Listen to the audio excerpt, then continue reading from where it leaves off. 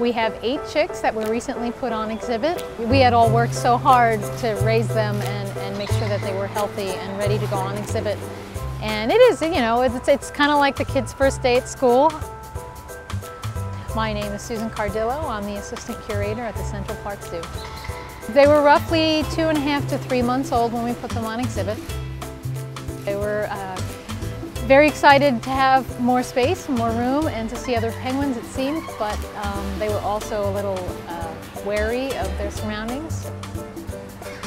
The colony saw them come, and they did go right towards them, check them out. Well, at first it's a standoff.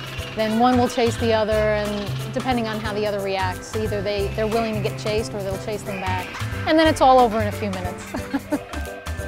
Actually really important for the chicks to learn that behavior because that's behavior they're going to need to protect themselves and to establish themselves. There's not a whole lot of beach area, which is also true of their natural environment in the wild.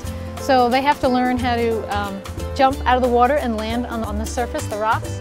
And it, it, took them a good 24 hours to learn that, to master it. Uh, um, it, was, it was humorous watching them make their first attempts because um, they failed a few times and then they got it. In just a matter of a few days, um, they, they were very well aware of their social status in the colony and they established their territories. Um, they are fully integrated now. They, you wouldn't even tell who the babies were from the adults. Um, they behave just the same.